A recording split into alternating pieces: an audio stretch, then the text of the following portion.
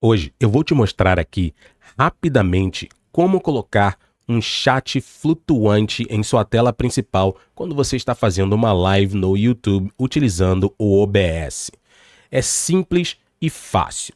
Eu vou te mostrar aqui em poucos passos. Esse vídeo vai durar menos de 5 minutos. A primeira coisa que você precisa fazer é baixar essa extensão aqui. Lembrando que você tem que estar usando o Google Chrome. Essa extensão chamada Live Chat Overlay. Então, eu vou deixar o link aqui embaixo na descrição, mas você também pode jogar esse nome no Google e vai aparecer rapidamente para você. Depois que você instalar, para mim não vai aparecer aqui instalar, porque eu já estou com ela instalada. Aqui ela só aparece para remover. No seu caso, vai aparecer para instalar. Você vai clicar, vai instalar normalmente, bem simples a instalação. E aí depois a gente vai para o passo número 2. O passo número 2 é você ir na sua tela de transmissão lá no YouTube Studio, tá? E aí você tem aqui a parte de chat. O que, que você vai fazer? Você vem nesses três pontinhos aqui e vai colocar ela como pop-up. Vai fazer ela saltar, um pop-up chat. E aí ela vai saltar e já vai aparecer aqui para você alguma coisa diferente que normalmente não aparece. Que é o que? Get Overlay URL. Então você vai pegar o endereço do overlay. Você vai pegar o URL do overlay. Então eu preciso pegar esse endereço aqui, ó. Copiei.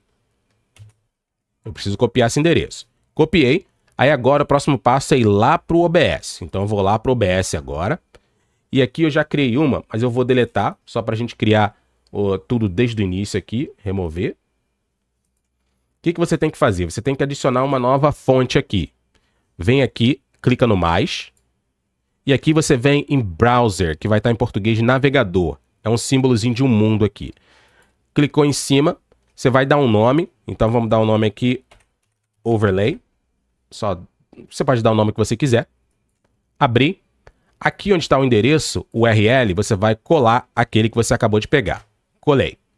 Aqui está 800 por 800. Eu posso até deixar isso aqui, mas eu vou colocar como a minha transmissão está em Full HD, eu vou colocar aqui o tamanho Full HD, que é 1920 e aqui 1080.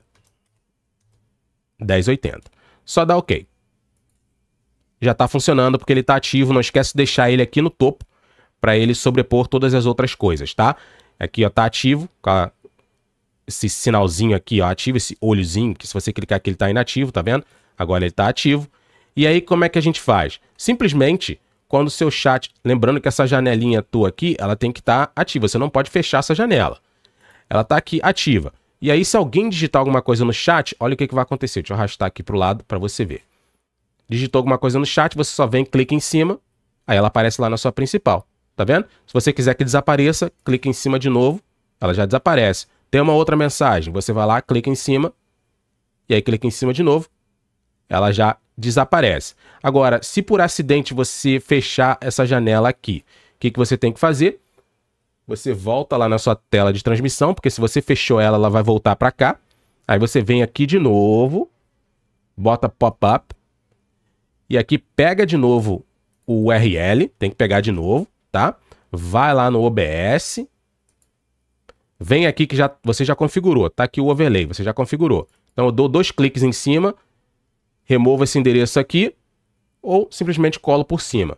Colei por cima, o um novo endereço, deixo o mesmo tamanho, dou um OK, tá lá ativo de novo.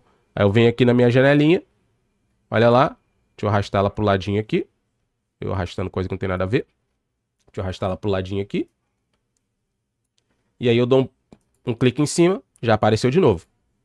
Dou um clique em cima, já apareceu de novo.